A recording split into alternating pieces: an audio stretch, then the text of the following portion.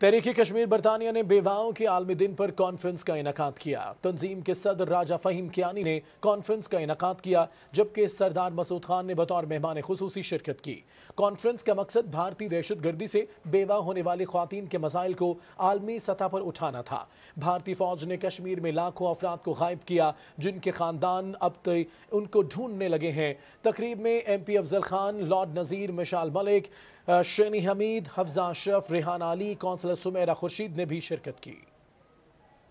Please raise your voice for the half the half widows in your parliamentary chambers UN bodies and community centres as well as on social media platforms half widows are in fact a matter for the decimated destiny of the Kashmiri nation. According to the UN human rights council they have lived for many decades under the mercy of the security forces, which operate with complete impunity.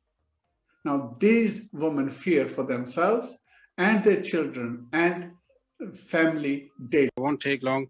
I hope that this event will evolve into effective and efficient movement to end human rights abuses in Indian occupied Jammu and Kashmir. All these deprivations that a Kashmiri woman goes through, and at the same time, they're supporting the freedom struggle.